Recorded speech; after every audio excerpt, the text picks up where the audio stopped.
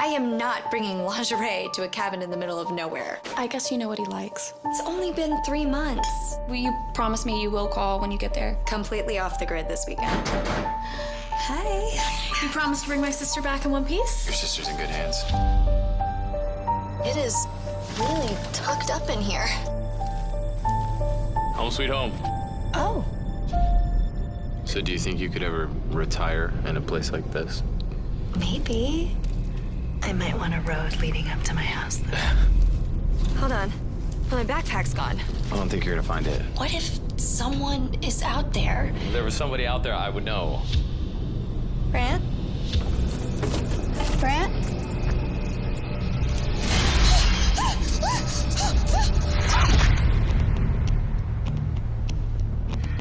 You look beautiful when you're terrified.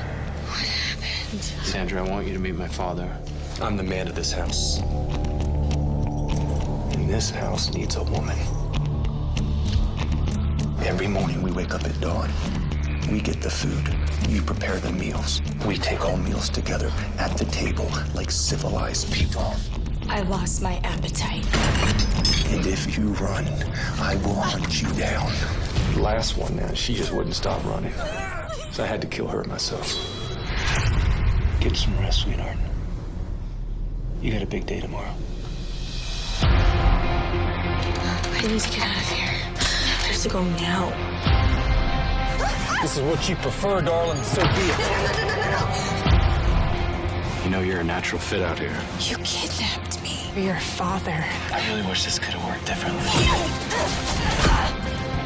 I didn't want this. Goodbye, sweetheart.